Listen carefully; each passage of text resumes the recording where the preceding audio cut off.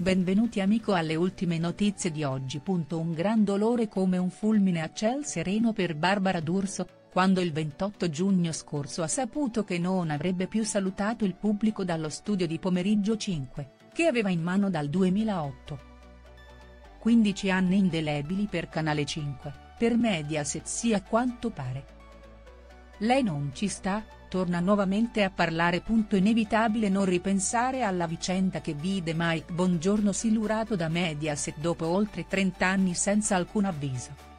Si trovò senza contratto rinnovato, neanche Silvio, figuriamoci Pier Silvio Berlusconi quindi, gli avrebbe più risposto. Simile sorte per Barbara D'Urso, ora parla del suo futuro senza Biscione.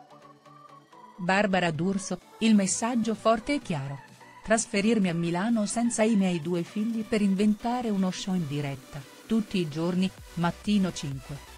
24 ore di tempo per decidere, ha raccontato Barbara D'Urso nell'intervista a Repubblica, sul format che si è vista morire tra le mani, inizio l'avventura da cui nasce Pomeriggio 5, poi Domenica Live firmati da me come live non è la D'Urso che viene chiusa.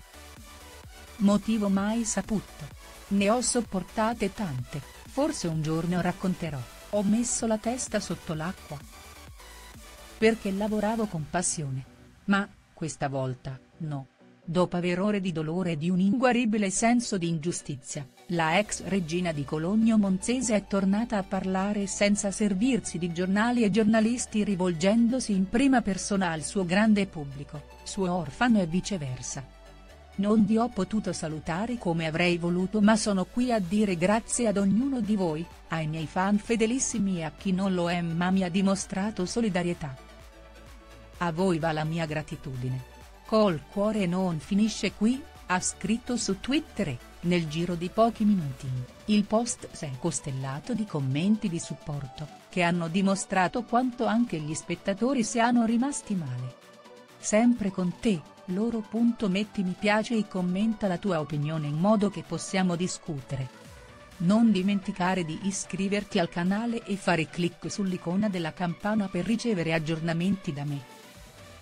Arrivederci, al prossimo video.